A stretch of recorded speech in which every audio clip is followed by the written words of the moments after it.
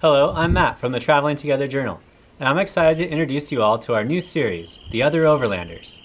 As part of our goal to share the honest experience of long term overlanding, we conducted interviews with other long term overlanders that we met while traveling the Pan American Highway, and now we're sharing those interviews with you.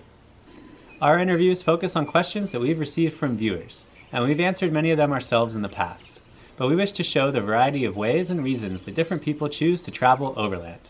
Our questions cover topics such as finances, trip planning, vehicles, and the regrets of overlanders living life on the road. If you have questions or curiosities about long term overlanding, please leave those in the comments section down below so we can include those in future interviews.